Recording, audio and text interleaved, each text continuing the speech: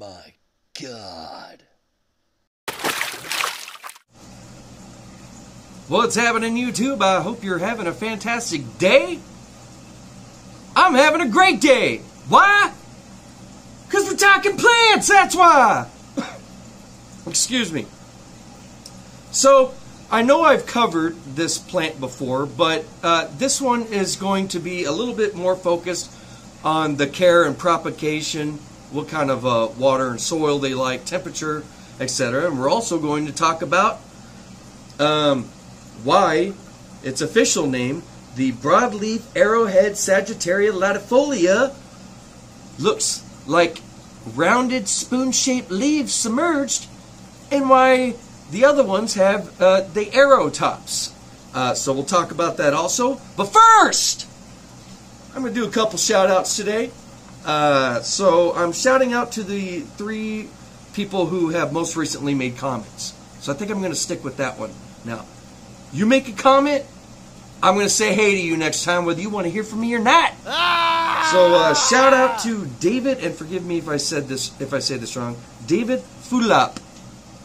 And then shout out to Zachary. You you always say hi, but you know, hey, thank you. And shout out to G Family. You're always around to say hey also. So I appreciate you giving me conversations. I appreciate it. Uh, and then the rest of you, you know, you don't have to be scared. Uh, I'm not a scary guy, but even if I was, I'm not going to bust a cap through the internet. You, you see what I'm saying? You know, I'm on this side of the internet. You're over there. Everything's okay. Say hello, you know. All right, so right here, what we have is submerged grown Sagittaria, broadleaf. So as you can see, no arrowheads. And then as we walk over here, where the water isn't moving at all, we have all the emersed Sagittaria. Same plant, I promise you. I'm going to look around a little bit longer and see if I see if I find some right in between. All right, scored a perfect spot. All right, so all of this, this is all Sagittaria, and then right over here, look, see how it, it attempted to put out an arrow and it just didn't make it. This one on this side doesn't have any, so their leaves are broader and they look more like a spoon. And then over here, if they do grow the arrow, the stems are thin with the arrow at the tip. And even this one, it has some leaves that have figured out that it's just not happening with the uh, arrow heads. And here's a huge mat of it too. So you can see some that, you know, at one point had the arrows. Maybe the water got a little bit deeper and it started dying off. But this is all Sagittaria. And this is just a random creek. You can find these too, anywhere in the world. Even in Texas. I used to live in Texas. There's there are streams and lakes.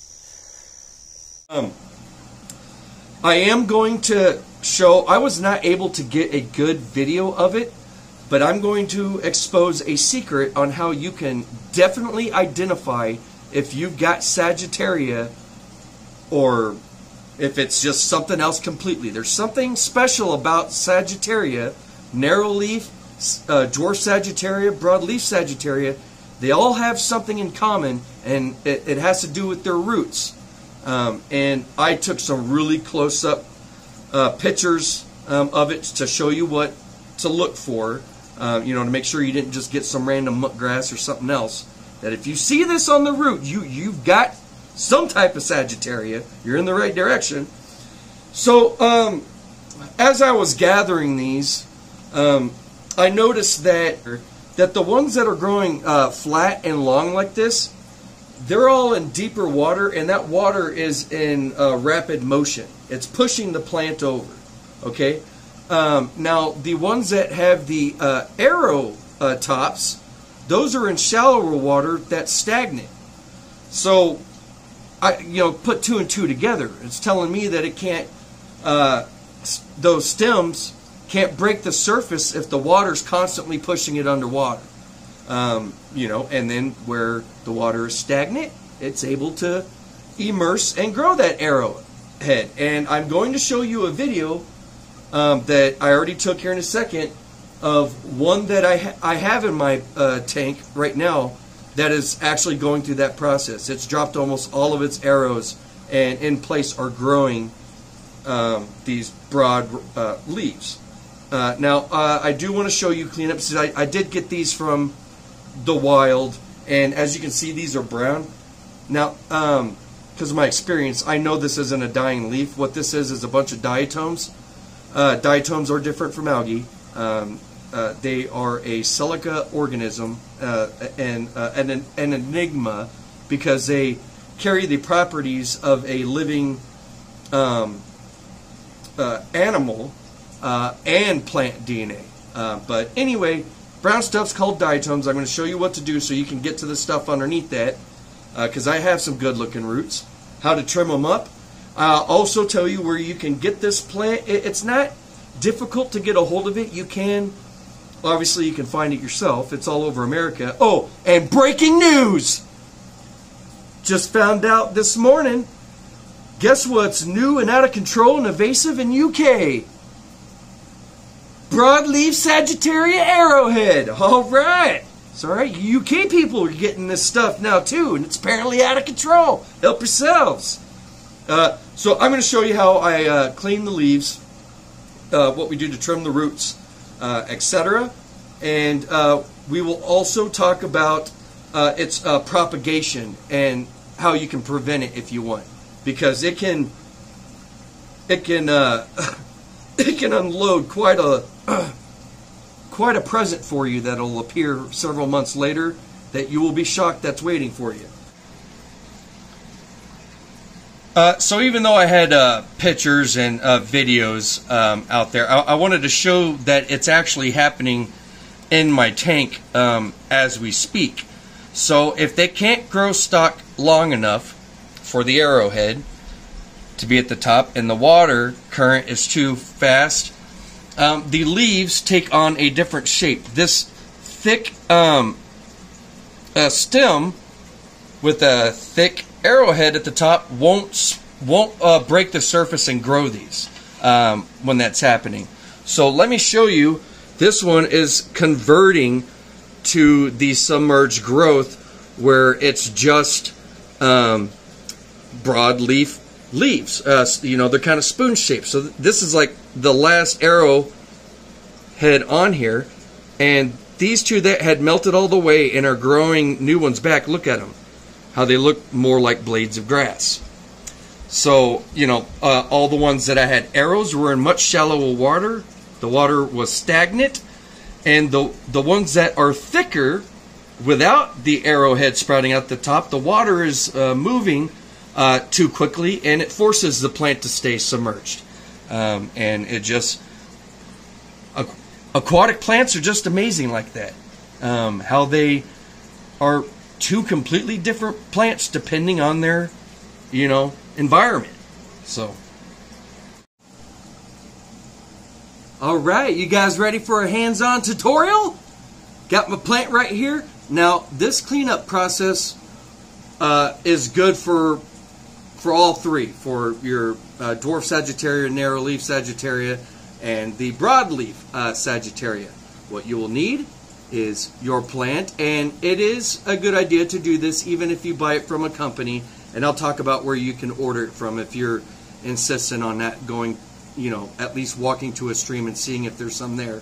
Um, but uh, I'm going to show you how we can clean this. So I know it looks uh, pretty dirty, like I said before. So you will need your plant. You need a pair of scissors. And no, they do not need to be these weird $15 curved aquascaping scissors. Uh, a, a, regular pair of kitchen scissors will do just fine. Trust me, I know. And, and you know how I know? Be because I already learned my lesson the hard way by blowing money on it, and I couldn't find it one day, and I use this. So I'm going to use this the whole time and show you it works just as good. And guess how much this was? $1.99 Dollar Tree. Holla! Uh, all right, so let's first uh, talk about uh, the filth on here, all the diatoms, and how we're going to clean that off. The second tool you will need is a brand new uh, toothbrush, or like me, I've had this one for a while uh, that I use for this reason. And you will want a uh, double soft bristles. So as soft as you can get it, all right? Because you got to be gentle here. So we're going to focus on this one. I'm going to lay it out flat. Now, uh, these plants can can go uh, can dry out on you pretty quickly, and things can go south if you don't keep them wet. I suggest keeping a spray bottle. Now I've got my toothbrush, so just very lightly, I'm just going to brush over the same spot over and over and over. I'm not I'm hardly pressing down at all. You don't you don't need to press very hard. Then you can rub it off on your towel. I'll get it wet again.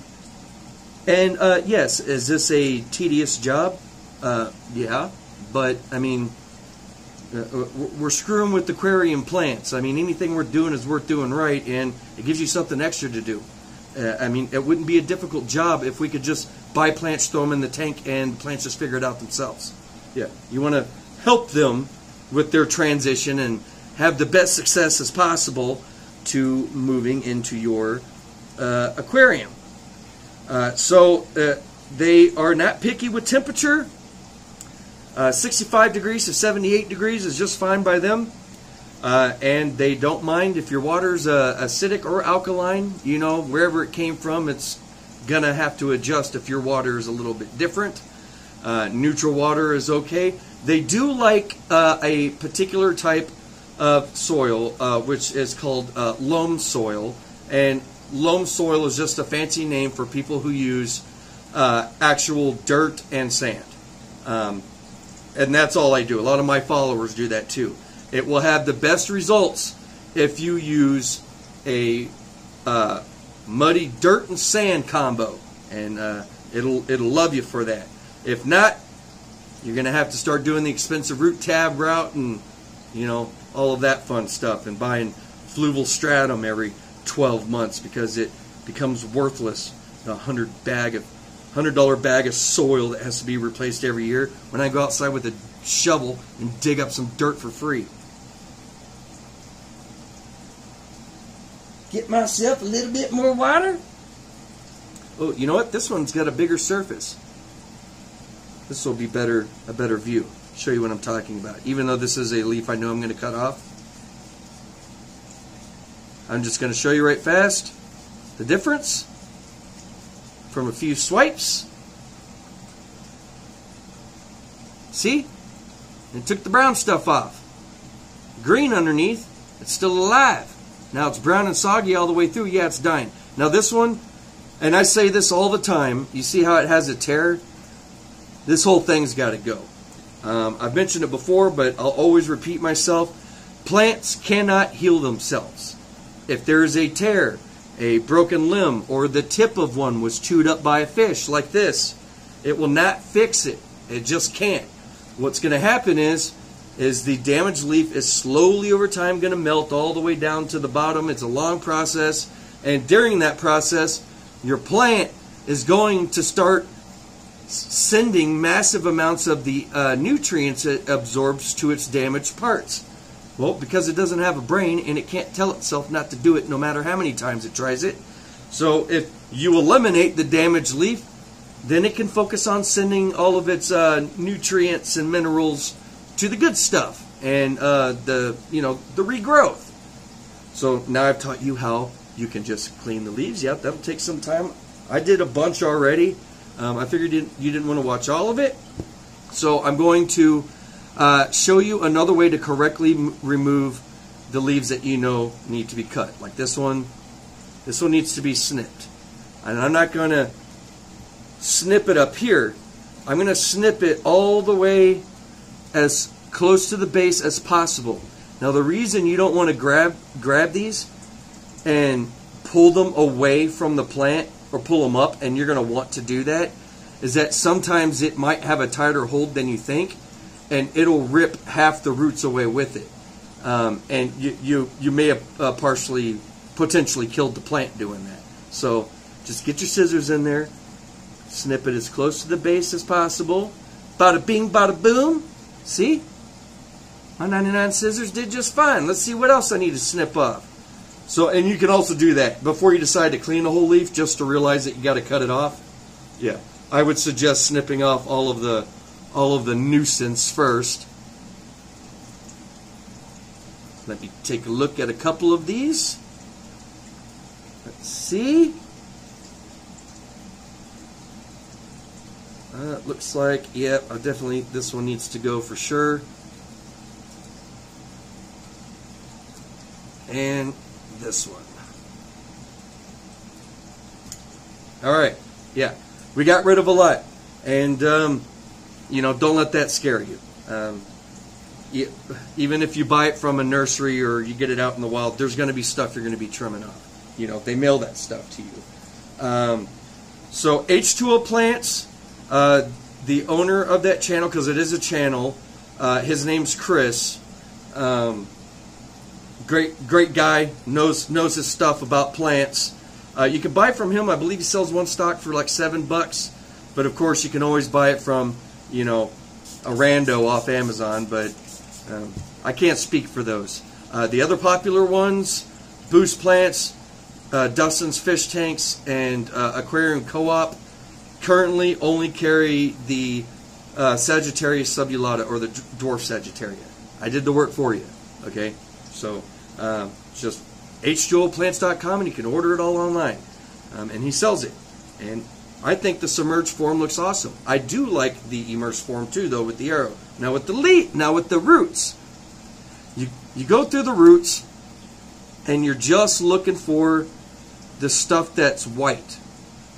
The stuff that's turning brown and dark. If you can press it and it goes flat on you, it's ar- it's already got um, uh, root rot for for whatever reason, and it's just best to snip it off. Leave the strong roots and the strong roots will start to grow healthier roots surrounding it. Okay? Plants are magical. Plants are magical like that. All right? Uh, now I'm going to stop this and then I'm going to show you what you need to look at to identify. All right, now for this, these last two pieces of advice that will help you. Um, unfortunately, I, I wasn't able to get a video. Uh, we're gonna one, we're gonna talk about how uh, you can propagate it um, or prevent it if you don't want it to. Uh, and then two, I'm going to show you its uh, signature pattern on its roots um, that are only on the Sagittaria plants for whatever reason. They have that. And I could not do a solid video of it. I had to take a picture, uh, a high quality HD picture, zoom all the way in and adjust the brightness and everything so you could see it. Um, because holding it up with my hand and then get it, you just couldn't see it that way. But I'm going to show you. Um, and while I have that up for you to get a good look at it, I'll have a picture up of what you need to do to either encourage propagation or to stop it. Um, all right, so look at this uh, picture here. This is just the roots. And um, yes, it's the roots of one of these uh, Sagittaria. Okay, um, I put a circle around it and look at that single root first, and then look at the rest of them. What do you notice when you're looking down there? It has a bunch of uh, dark bands over and over and over. Look at the other roots now. You'll start to notice them on all of those. Now, I have personally seen this on narrow leaf dwarf sag, and now broadleaf sag. Okay, I and I inspect my plants very uh, closely. Um, this does not happen with Vallisneria, you know, your other tall aquatic grass, um, uh, chain sword, and um, I have definitely not seen it on any of your, you know, like your bog plants, cryptocorynes, and uh, you know your ferns, uh, Asian water fern, Java ferns, Anubias, and all that stuff's more obvious. Um, but you see those bands, they're on there. You know for sure it's Sagittaria. Now, I'm not going to be able to tell you what the heck it is if you don't see that, but it's not Sagittaria, you know. Uh, so Now here on the left, um, there is a picture of the little white flowers. All my little white flowers uh, weren't on mine because I collected, you know, the plants loosely, and the flowers just fell off.